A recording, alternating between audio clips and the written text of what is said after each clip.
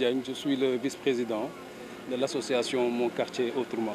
Bon, l'association Mon Quartier Autrement, c'est une association qui a été euh, installée par Madame la Présidente, Madame Fatou Bintounias, parce qu'elle était partie en voyage depuis très longtemps. Donc quand elle est revenue dans ce quartier, puisqu'elle est née ici en 62, elle a vu qu'il y a eu beaucoup de désagréments que le quartier est en train de subir. Le quartier est agressé, le quartier est menacé actuellement. Donc elle a pris son bâton de pèlerin pour rassembler les habitants de la commune, pour qu'on essaie de, monter, de, en fait, de former une association pour essayer de parer à ces agressions et à ces menaces qui sont en train de détruire notre cadre de vie. Donc c'est ça qui a été à l'origine de cette association.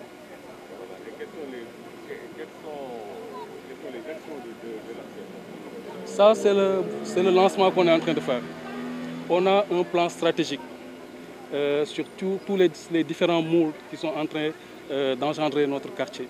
Donc c'est étalé sur 3 à 5 ans. Là, on est en train juste de faire le lancement, c'est-à-dire essayer de changer déjà euh, le paysage floral de la commune. Et essayer aussi de faire l'élagage parce que le point, ça fait à peu près, si je ne me trompe, 5 à 10 ans que le point n'a pas été élagué. Si vous remarquez, vous voyez les fils qui sont presque en train de tomber par terre. Donc pour le moment, on va commencer par l'élagage.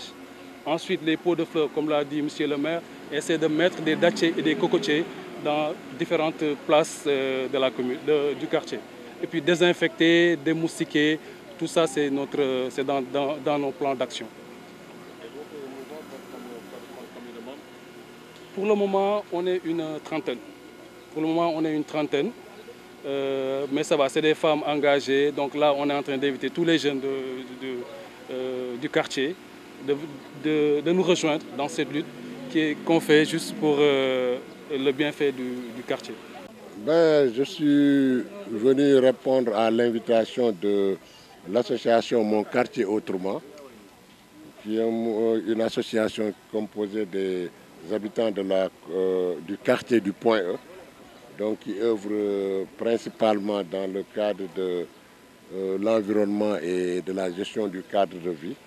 Et je voudrais d'abord euh, en profiter pour euh, les remercier d'abord, les encourager et les félicitations de ces initiatives qu'ils ont eu à prendre et qui consistent aujourd'hui à d'abord élaguer les arbres, ensuite euh, procéder à la, plantation de cocotiers, de palmiers et d'aménagement de, places de fleurs. Comme je l'ai dit tantôt, hein, euh, jusqu'en 99, le quartier du Point E était considéré comme un quartier résidentiel où personne n'avait le droit, ne pouvait construire un immeuble R plus 2. Maintenant, avec euh, l'avènement de l'alternance en 2000, l'État du Sénégal a déclassifié le Point E pour en faire un quartier d'affaires. Et maintenant, bonjour les dégâts.